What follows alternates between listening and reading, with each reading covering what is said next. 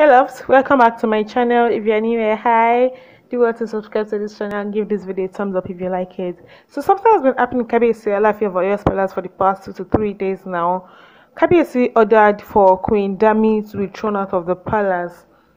Queen Dami married the king two years ago. She's 24 years old and she has a son for she has a son with the king. It's no news that Queen Ola the very fine Instagram sensation left the palace last year based on adultery allegations. Though she denied it, she said that was not why she left. But yeah, that was around the time she left.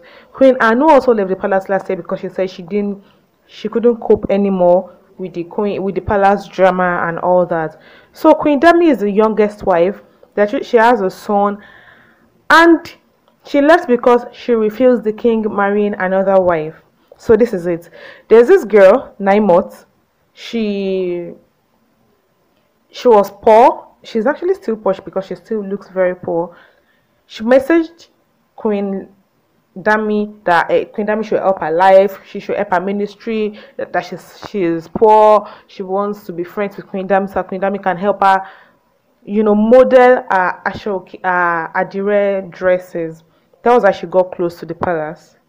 She found a way to seduce Kabiyesi, you know, and now she's sleeping with Kabiyesi and Kabiyesi has intentions of marrying her. Queen Dami says like like she's not going to agree or Kabiyesi cannot marry her friend.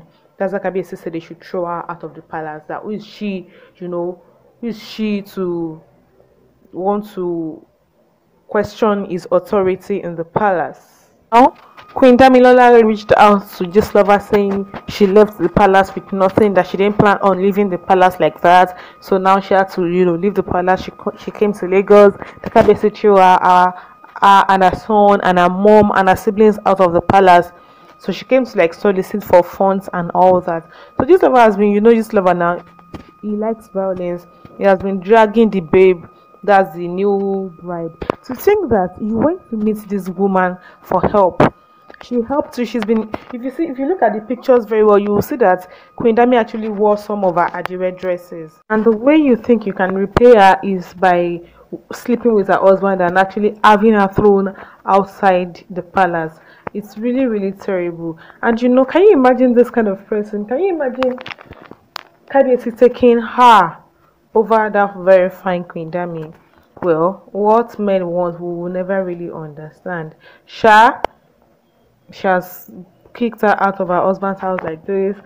So this lover was able to right now this lover has been able to raise about 1.1 million naira for her. She has gotten an apartment.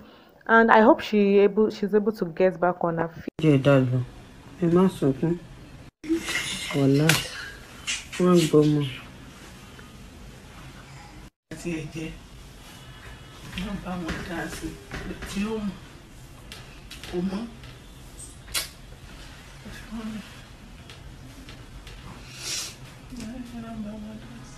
I, do hope she's able to start something with money and all that.